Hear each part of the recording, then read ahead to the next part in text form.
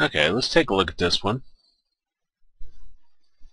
This, clear this off.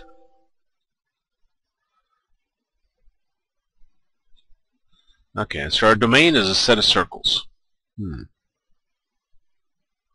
So then we have this circle, this circle, and this circle. So that's our circles.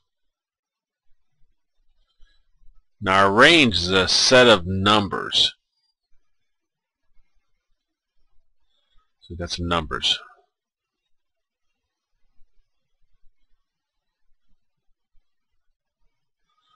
Okay. I'm thinking this through. And uh, correspondence is the circumference of each circle. Okay, so the circumference is the distance around. Let's say the distance around on this one is 1.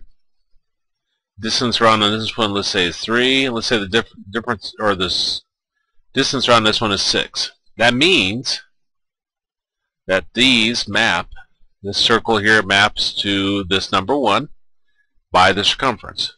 This one maps to 3 because of the circumference. And this one maps to 6 for the circumference. And it says, is this a function?